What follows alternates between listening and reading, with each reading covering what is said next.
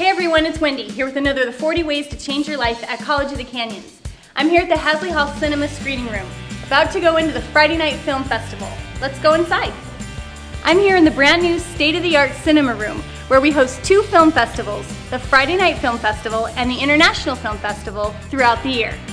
The films are shown by the COC Cinema Department and include academic discussions either before or after the screening. Hey, it's Lena. Don't forget to Twitter the word These films are free and open to the public. For more information, visit the events calendar at canyons.edu.